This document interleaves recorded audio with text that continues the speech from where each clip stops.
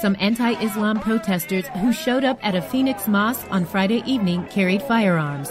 Hundreds of members of various religious and community groups had already gathered along the sidewalk across from Islamic Community Center of Phoenix to meet the protesters.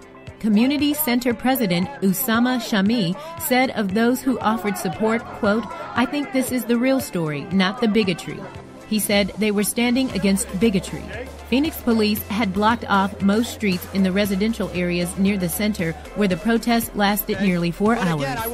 Jon Ritzheimer organized the protest, which followed one held on May 17th at the same mosque. Both protests were staged in response to an attack at a similar event in Garland, Texas earlier this month by gunmen known to have attended the Phoenix Mosque a year previously. 10 years in the Marine Corps, this is not the country I fought for, and this is not what I want my children to be raised in.